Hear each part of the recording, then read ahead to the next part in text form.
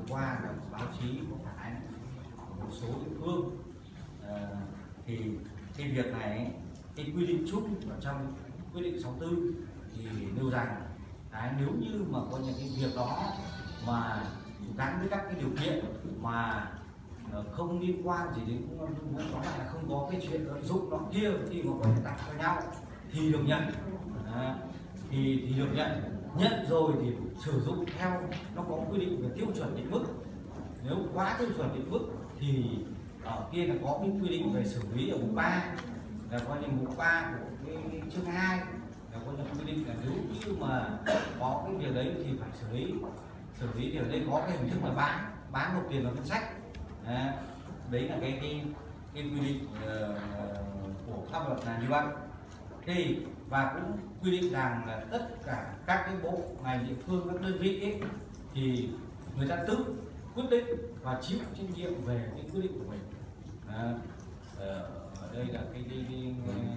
cái căn cứ và quy định của thủ tướng để mà nhận hay không nhận và chịu trách nhiệm về cái quyết định của mình. Thì có báo cáo về bộ tài chính hay không thì ở đây là cái người ta không phải báo cáo không phải báo cáo nó chỉ có đối với cái xe ô tô nếu là tài sản công thì nó sẽ nhập vào cái cơ sở dữ liệu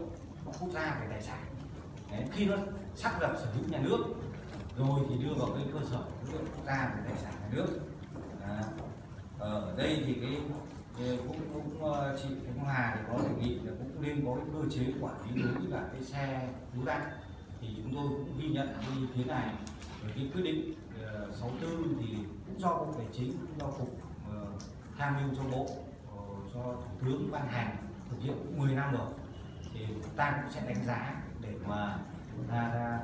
à, xác định lại cái, cái, cái việc này. Ví dụ như là cái đối với cả một số những cái tài sản đặc biệt ờ, tài sản có giá trị lớn hoặc là cái tài sản mà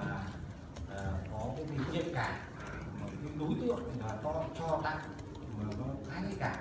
thì phải báo cáo đến một cấp nào đấy xem xét quyết định chứ không giao hết quyền cho cơ quan đơn vị đấy là mấy cái ý tưởng ban đầu khi mà ra, ra nghiên cứu chính sách để điều chỉnh